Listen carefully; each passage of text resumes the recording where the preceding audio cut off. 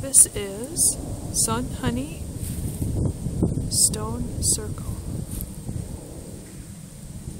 The recumbent stone